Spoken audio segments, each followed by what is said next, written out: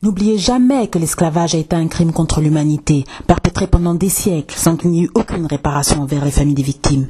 N'oubliez jamais la souffrance endurée par vos ancêtres juste parce qu'ils étaient noirs. N'oubliez jamais que certains colons ont été indemnisés pour la perte de leurs marchandises, mais les victimes ne l'ont jamais été. N'oubliez jamais que le Code noir rédigé par Colbert et promulgué par Louis XIV en 1685 définissait l'homme noir comme étant un bien meuble, une marchandise qu'on pouvait vendre, asservir et léguer. N'oubliez jamais qui sont vos héros, tous à l'ouverture, Louis Delgrès, Jean-Jacques Dessalines, Solitude. N'oubliez jamais qu'on ne bâtit rien dans l'oubli et le silence. N'oubliez jamais d'apprendre votre histoire, de connaître vos origines. N'oubliez jamais d'honorer la mémoire de vos ancêtres. N'oubliez jamais de garder votre dignité. N'oubliez jamais de vous battre dans la vie. N'oubliez jamais qu'un arbre sans racines ne peut pas donner de fruits.